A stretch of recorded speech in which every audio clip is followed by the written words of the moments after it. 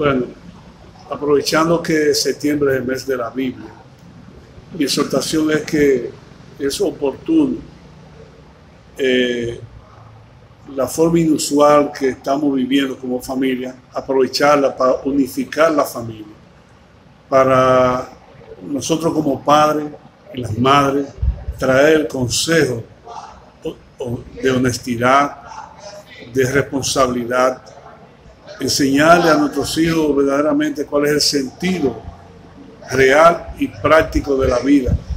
Pues la Biblia tiene eh, leyes, mandamientos, principios que nos educan a nosotros y nos señalan la forma correcta como vivir. Ahora, sabemos que tenemos un desafío por delante, que es una sociedad que eh, está en deterioro, hay muchas exigencias, muchos conflictos, muchas debilidades en la estructura de nuestra, sociedad.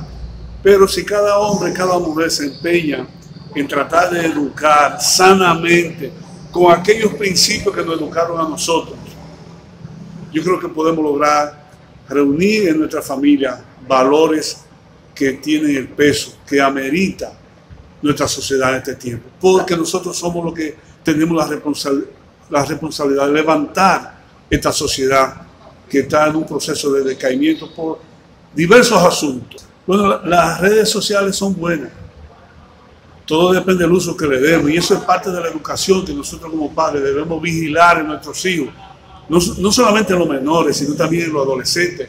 Instruirlos. Nosotros mismos buscar la forma como eh, adiestrarnos para darle el sano consejo a ellos, a ellos y que ellos puedan darle el mejor uso a las redes sociales.